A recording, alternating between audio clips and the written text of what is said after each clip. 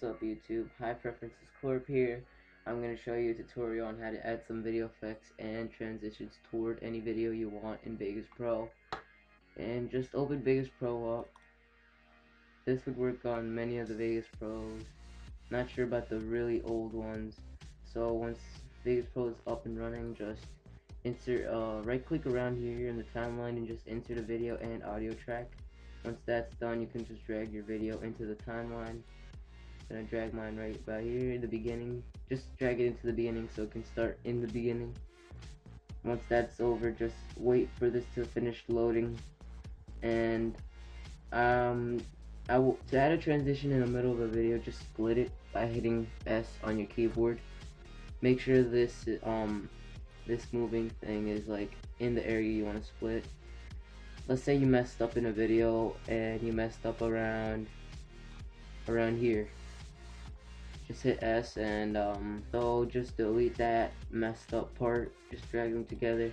And let's say um, when the tran if there's no transition it's gonna look really ugly. It's just gonna be cut in and it's gonna just look not professional at all. So go to transitions around here. Scroll down see which one you want.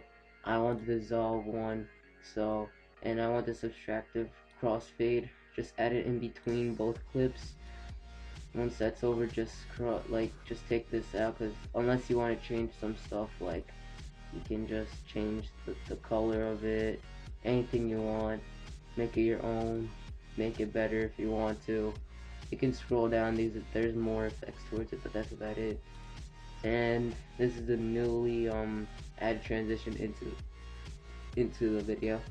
Now it's a lot more nicer and better once that's over just go to video effects. If you want to add a video effect into any of your videos there's a lot of them so you can try out all of them if you want. Um, there's one called rays that I like. You can just drag it down there. Make sure that you that you click on it because there's a lot of presets.